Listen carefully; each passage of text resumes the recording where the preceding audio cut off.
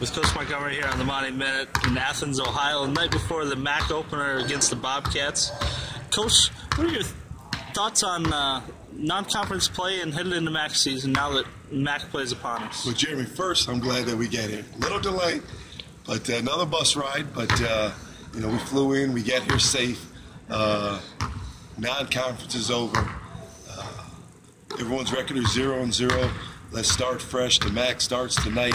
You have a couple games uh, uh, going on other places, but uh, we're looking forward to this uh, opener tomorrow against Ohio. Probably be without Darrell Bowie, but uh, everyone else is very healthy.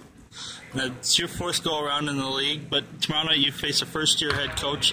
Does that kind of make this a little bit like a non conference game, seeing someone with new system that you haven't seen in the league? It kind of feels like it a little bit. Uh, we don't come down here and play OU every year in a round robin.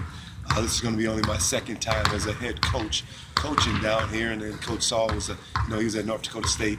So we're diff- I'm definitely looking forward to uh, competing against his team, coaching against his team, and it should be quite a game. Thanks, Coach.